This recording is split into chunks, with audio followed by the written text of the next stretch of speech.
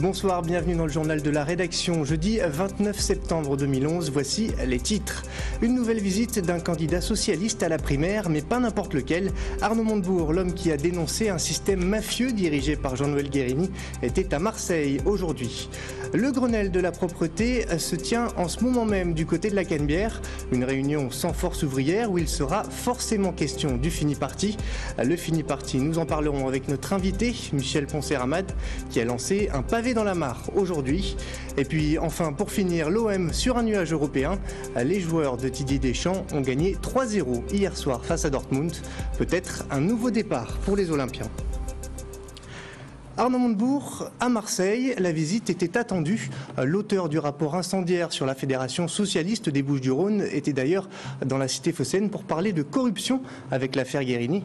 Mais il en a aussi profité pour rendre visite à Fralib et présenter ses propositions contre les délocalisations. Fanny Fontan. La pression d'arriver à Marseille? C'est un plaisir, j'adore cette ville, très romanesque, poétique. Voilà. Pas de pression?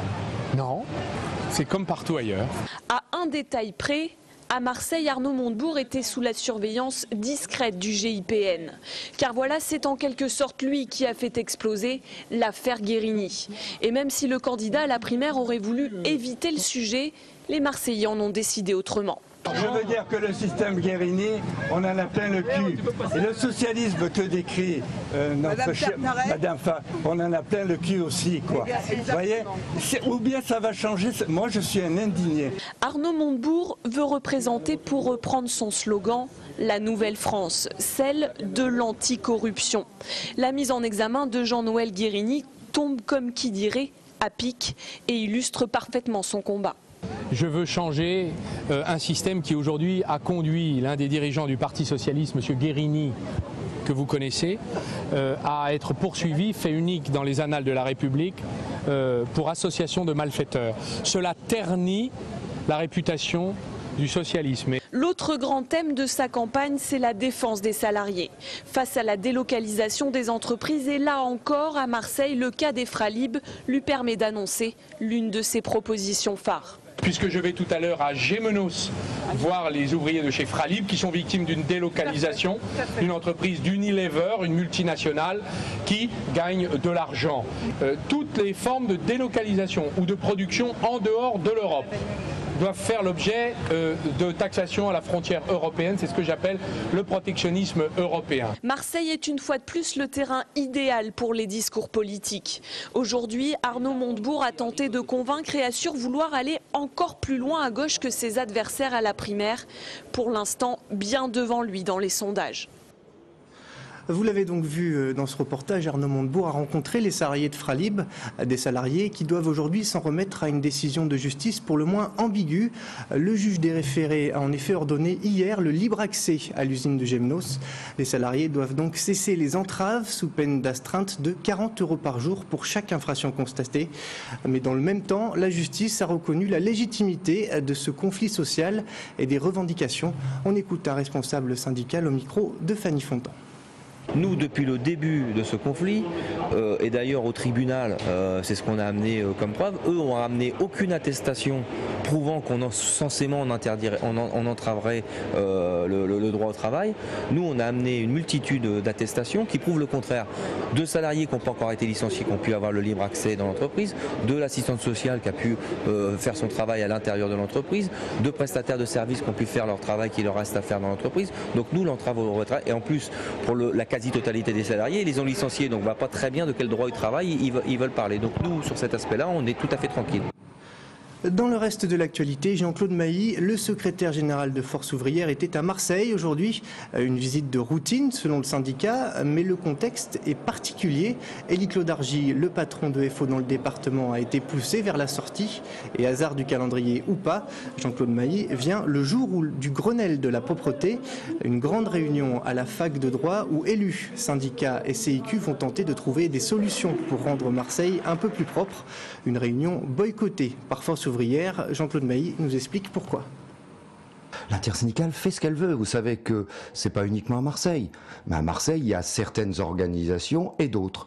Euh, c'est comme ça. Écoute, moi je ne vois pas en tant que syndicaliste comment, par exemple, je vais euh, proposer euh, une histoire de service minimum dans la propreté. Attendez, c'est pas le rôle d'un syndicat. En tous les cas, c'est pas ma conception du syndicat. Donc d'autres fassent leurs initiatives, c'est leur liberté, c'est notre liberté de ne pas nous associer à ce type d'initiative.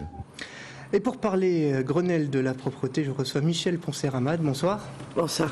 Alors vous êtes conseillère municipale Europe Écologie euh, Les Verts à Marseille et aujourd'hui euh, vous jetez un pavé dans la mare. Vous avez suivi des éboueurs pendant quatre jours. Alors qu'avez-vous découvert pendant votre filature? Alors, on, avait, on voulait reprendre, si vous voulez, tout le système de la propreté. Il fallait d'abord commencer par le ramassage. Le ramassage des ordures dont on avait l'impression qu'il n'était pas très bien fait. Qu'après le passage, il restait des sacs, que les poubelles étaient renversées, qu'elles étaient cassées et tout. Donc, on a suivi, d'abord, certains ont noté les heures de départ. Donc, le ramassage se fait de 5h30 du matin à midi et demi ou le soir de 21h à 2h du matin. Donc on a attendu le, retour, si vous voulez, des bennes. Donc moi j'étais, on était à 2 heures, du, on, on, a attendu à partir de 21 heures le retour des bennes. Et les premières bennes sont arrivées à 23 heures, soit 2 heures après le départ. Vous voulez donc dire que les éboueurs ne travailleraient que 2 ou 3 heures par jour? Voilà, et les derniers sont arrivés à 24 heures, donc ils ont travaillé entre 2 et 3 heures. Vous êtes sûr de, votre procédé Je suis sûr sur, sur, un nombre de bennes limité, sur une vous avez identifié Sur une quinzaine de bennes dans Marseille uniquement. Mais donc, si vous voulez, ça suffit. C'est un échantillon qui me paraît significatif quand même.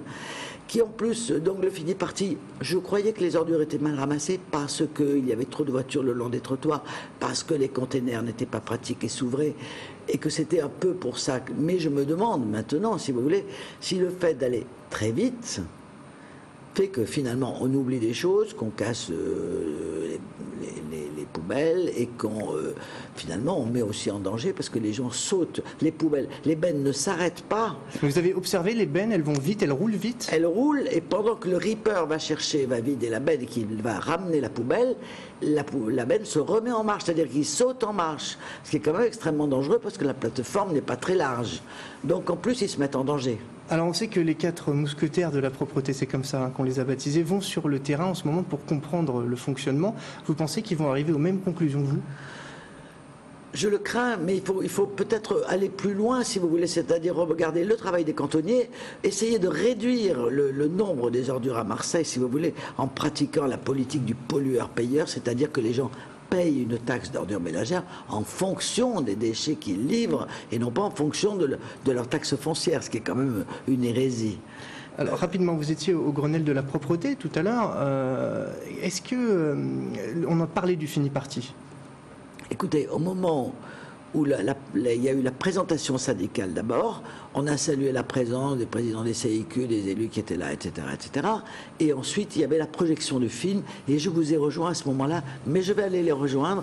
Et de toute façon, j'ai des camarades qui y sont. Eh bien, écoutez, euh, on vous laisse les rejoindre. Merci beaucoup, Michel Poncer-Ramad. C'est moi. Cette histoire à présent qui démontre l'état de vétusté de certaines bars HLM dans le quartier de la Busserine, dans le 14e arrondissement, l'ascenseur de la Q est sans arrêt en panne. La centaine de familles euh, qui vit donc euh, là-bas doit euh, gravir 19 étages à pied. Le bailleur social affirme faire son maximum pour solutionner le problème. Camille Bossard. La vue est belle, mais encore faut-il monter.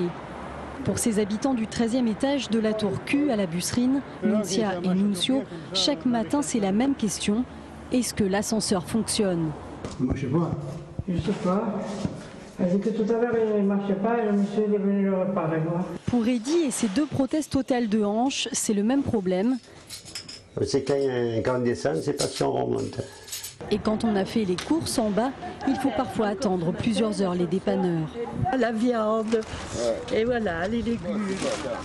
comme ça. Et eh oui Enfin, c'est pas que je veux me plaindre, mais ça devient absolument infernal. Malgré les multiples réparations des dépanneurs, rien n'y fait et le problème se réitère plusieurs fois par jour. Les ascenseurs sont vétustes. Donc euh, les pièces ne sont, plus, ne sont plus fabriquées, les pièces d'origine. Donc eux, les prestataires, euh, dépannent les ascenseurs.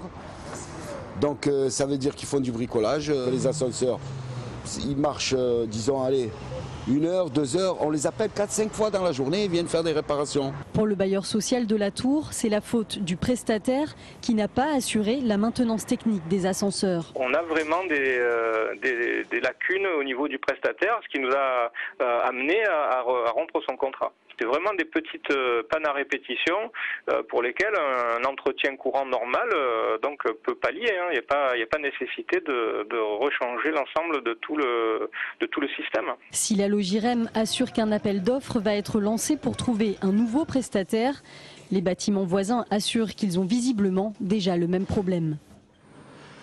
Dimanche, l'aéroport Marseille-Provence accueillera officiellement la toute première base de province d'Air France, une base inaugurée en grande pompe hier soir sur le tarmac de l'aéroport.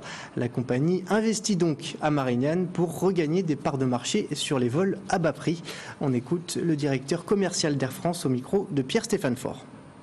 Ces prix bas, on peut les offrir parce que nous avons euh, très fortement baissé nos coûts grâce à un nouveau modèle d'exploitation. Les avions volent euh, à peu près 40% de plus qu'ils ne volaient précédemment dans une journée.